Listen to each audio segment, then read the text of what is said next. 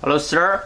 This is uh, a pillow pouch intended for chocolate ball and uh, it is uh, uh, realized by the raw force on the falling uh, film machine and you can see this the track mark and with the top parts sealed and of course there is a euro hole, a hand hole with this circle. I'm going to show you the dimension for this chocolate ball.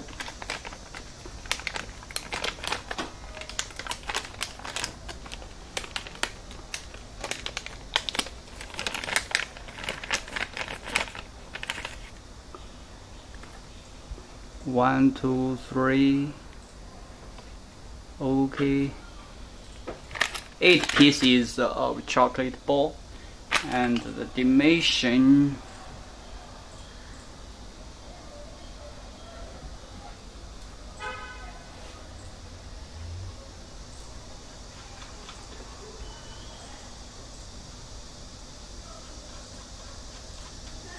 Yeah, this is around uh, 90 millimeter.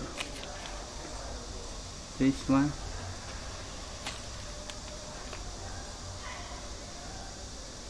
This one.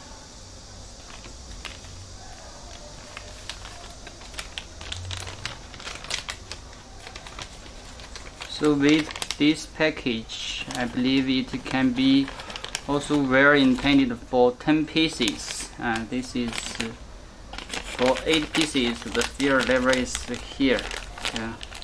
10 pieces it is can be okay for 10 pieces of chocolate ball